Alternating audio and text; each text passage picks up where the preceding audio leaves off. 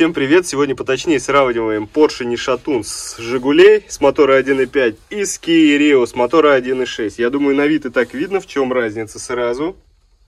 Чтобы добиться здесь перекладки, надо очень его сточить, потому что юбка высокая, здесь юбка слишком короткая. Я думаю, можно просто взвесить и посмотреть, в чем разница. Начнем с Kia 1.6 двигатель Шатун.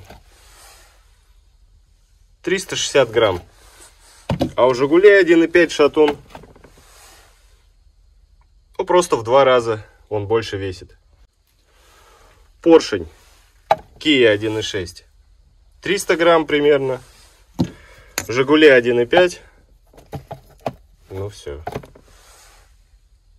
Почти 500. На всякий случай показываю, что Жигулевский с пальцем, Kia тоже с пальцем, с кольцами, и этот тоже с кольцами. Шатуны толщина просто полтора раза. Вкладыш здесь толще будет у Жигулей, чем у Кии. А вот коленвал Рио 1.6, вот она шатуна шейка, толщина просто с палец. У Жигулей видно сразу разницу. По корням тоже Kia Rio палец. Жигули, ну, в полтора раза. Измерение пальцем, конечно, не особо точно, но, я думаю, понимание дает.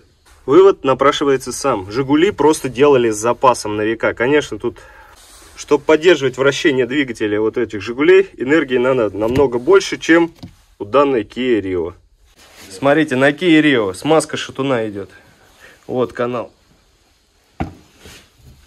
С одной стороны. То есть плен... здесь масло закидалось, и пленочкой масляной оно смазывается. У Жигулей шатунная с этой стороны и с этой стороны. Поэтому у корейского двигателя 1.6 ресурс меньше, чем у жигулевского 1.5. Но большинство, конечно, выбирает Kia потому что в ней просто тупо приятнее ездить. Но выбирать вам. Ну а на этом сегодня все. Кому видео понравилось, ставьте лайки, не забывайте подписываться на канал. И всем успехов и удачи на дороге.